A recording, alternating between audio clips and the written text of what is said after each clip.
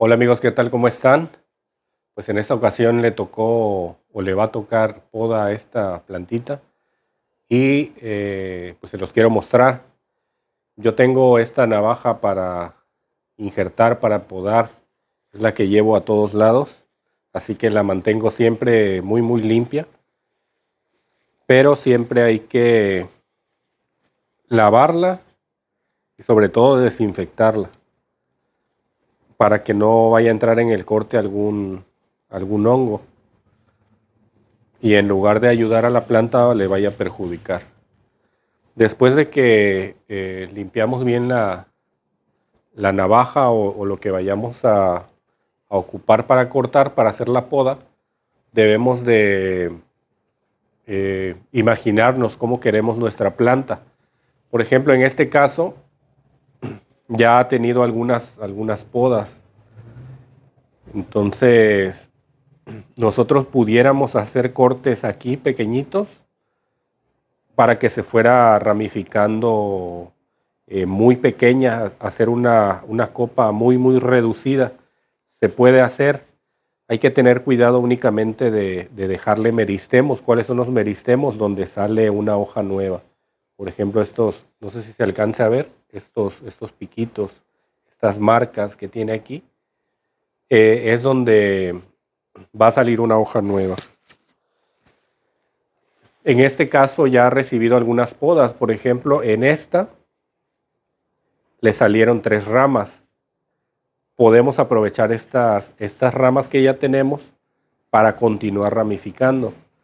Entonces, tratar de que la, la navaja esté muy bien afilada para que el corte sea lo más limpio posible, posible. Lo más limpio y lo más suave posible.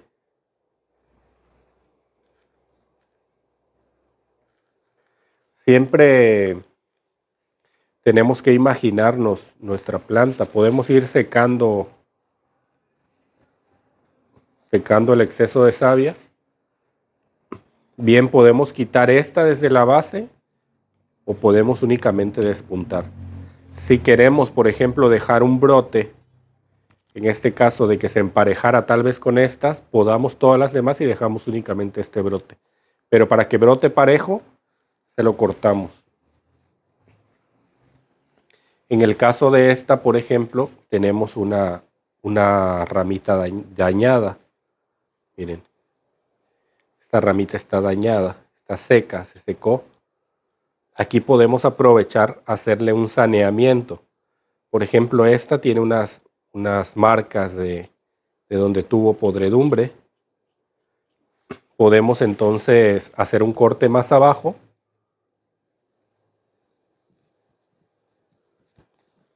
para sanear esta parte. Si nosotros cortamos aquí, tal vez eh, sané, pero vaya va a dejar una, cicatriz. Entonces podemos aprovechar la poda también para ir saneando algunas, algunas ramas. En el caso, por ejemplo, de esta, que fue un solo brote, podemos podar igual desde abajo para ir ramificando. Todo va a depender del diseño que tengamos. Por ejemplo, si nosotros tenemos, queremos una planta alta, podemos únicamente hacer lo que es la poda apical, que, es, que son los, estos brotes que salen aquí, a ver si, si enfocas. Los brotes nuevos se lo podemos ir cortando.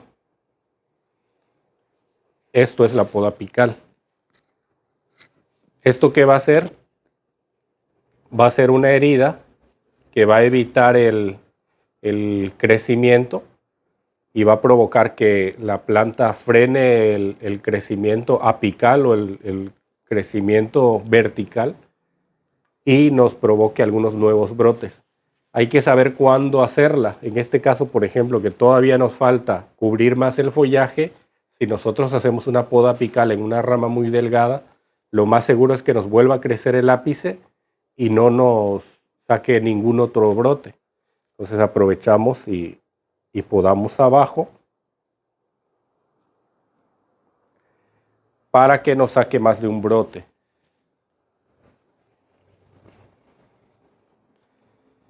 En, en bonsai el dejar crecer las ramas largas eh, es una técnica. Es una técnica, se llaman ramas de sacrificio. ¿Para qué sirve la rama de sacrificio? Puede servir para engrosar el caudex o, la rama o el tronco.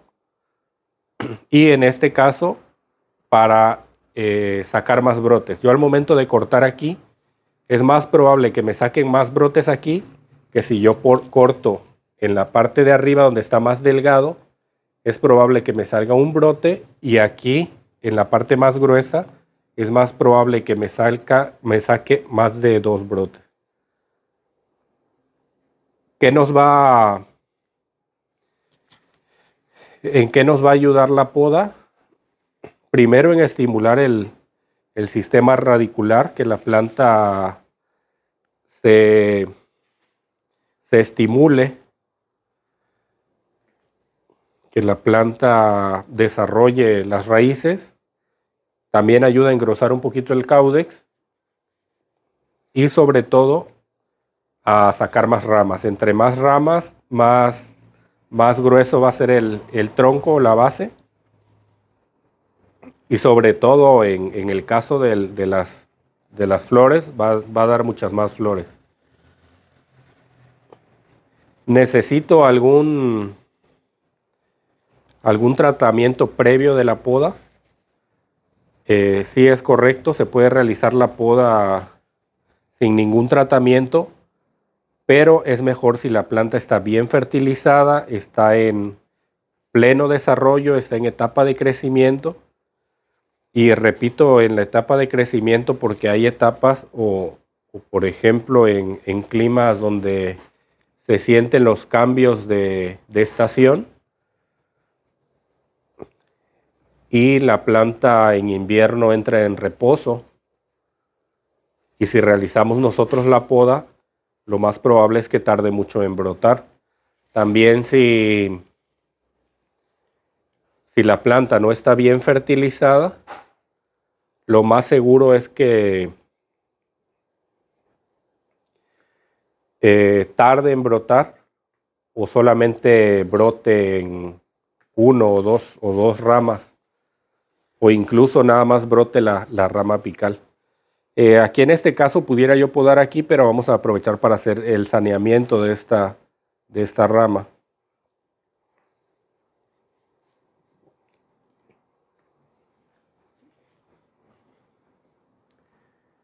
Bueno, aquí únicamente ponerle eh, cal, canela, cola loca. Yo lo que utilizaba mucho era la, la canela, pero me di cuenta que con un poco de humedad es probable que, la canela eh, le llegue a caer hongo, le, salga hongo. Entonces yo prefiero la cal. Hay otros que usan eh, cola loca en época de lluvias. Y eh, esta planta va a sol o a sombra. Esta planta la pueden dejar en donde ustedes la tienen, siempre y cuando no tengan un sol muy quemante. Porque, por ejemplo, en esta parte tenemos quemaduras de sol por el sol muy, muy intenso. Entonces, vamos a, vamos a dejarla en sombra o en semisombra. Y si tu sol no es muy intenso, lo puedes dejar a sol directo. Bueno, pues ojalá y les haya gustado el video. Eh, ya les estaré mostrando cómo queda esta plantita. Saludos.